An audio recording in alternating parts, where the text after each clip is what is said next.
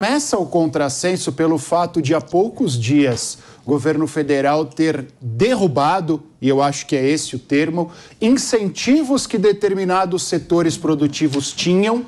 Então, a iniciativa privada perdeu esses incentivos tributários que davam competitividade ao nosso setor privado e, obviamente, com razão, todos esses setores reclamaram. Afinal, nós já temos inúmeros concorrentes, além daqueles concorrentes do mercado, como é o caso da importação, como é o caso daquela produção clandestina e assim sucessivamente.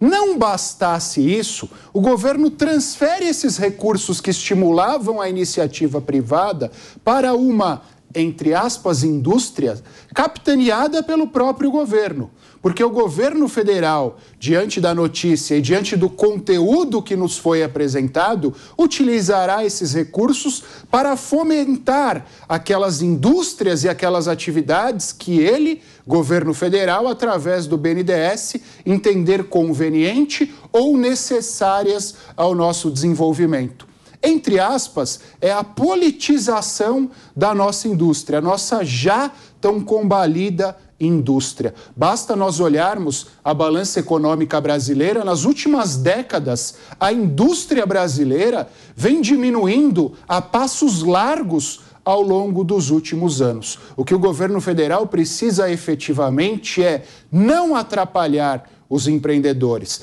não atrapalhar as indústrias, para que elas com os próprios recursos e com os próprios mecanismos, possam se desenvolver.